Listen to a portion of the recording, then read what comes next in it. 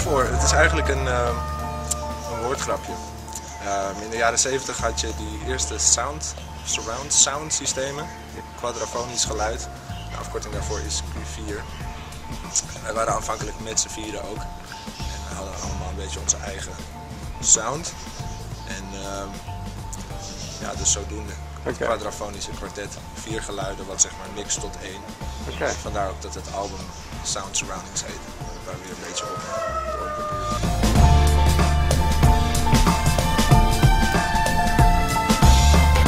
Er was een vierde lid, zeg maar. We zijn gaan zitten de eerste keer met laten we een bandje beginnen. Toen was er nog een vierde lid. Maar toen we muziek gingen maken, toen is hij daar eigenlijk alweer mee opgehouden. Dus dat vierde lid is er eigenlijk nooit echt geweest.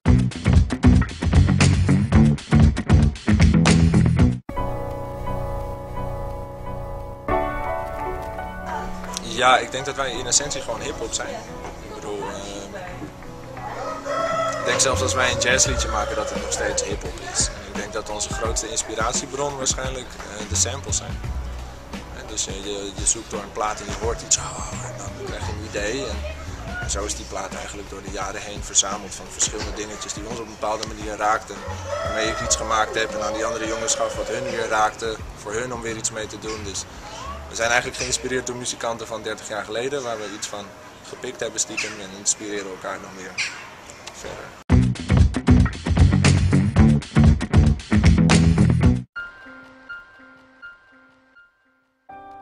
Eh, ja, een sampler. Ik ben eh, eh, in die zin non-muzikaal, dus ik kan niet een piano spelen of een gitaar spelen. Dus alles wat ik doe is meer als een collage.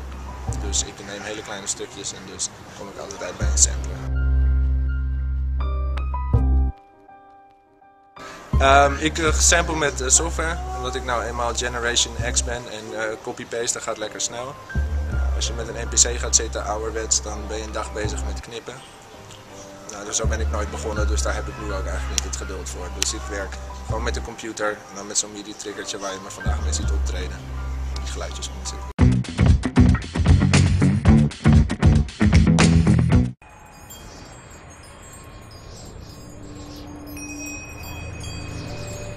Eh, ik heb daar een beetje paradoxale gevoelens over. Aan de ene kant is het heel leuk ehm, dat al die nieuwe mogelijkheden er zijn. Wij maken er zelf bijvoorbeeld vandaag ook gebruik van. Ehm, het is leuk dat je nu bijvoorbeeld eh, je eigen stem bijvoorbeeld kan scratchen, mocht je dat willen. Ehm, wat ik er jammer van vind is dat alles dusdanig veel makkelijker wordt dat bepaalde ambachtelijke elementen een beetje verdwijnen. Je ziet nu met al die, eh, wat je net zelf, zelf, zegt over die DJ's. Ehm, mensen downloaden nu mp3'tjes, branden dat op een cd'tje en gaan daarmee DJ'en. Daarnaast heeft de DJ cue points en, en allemaal dingen wat je, waarbij het allemaal zeg maar makkelijker wordt en toegankelijker wordt. En ook met die samples, weet je wel. Iedereen gebruikt nu sample bankjes, sample refill, sample cd'tjes. Ik hou meer van het door dozen met stoffige platen gaan tot je dat juweeltje vindt wat niemand zich meer kan herinneren, weet je wel, uit de obscuriteit. En ik denk dat dat, dat met de komst van die nieuwe dingen die oude dingen wel weg hebben. Ja. Dus dat is zonde. Ja. Maar je kunt er mooie dingen mee maken.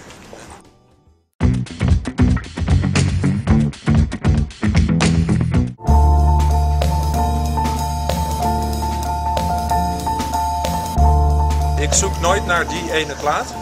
Ik ehm, ga eerder zeg maar een rommelmarktje af. Ehm, ik ga ook niet zoveel naar platenwinkels, want ik heb nog een hekel aan van die handelaartjes die dan 27 euro of meer een plaat vragen. Ik ben meer van de kwartjes bakken. En ehm, ja, daar ga ik gewoon doorheen. En ja, nu dat zoveel jaren doe, ik weet bepaalde muzikanten, bepaalde labels. Maar eerlijk gezegd, voor 90% op de hoes. weet je? En het jaartal, je weet van nou oké, 1973, grote kans dat het tof is. 1984, moeilijk. Weet je wel? Zo.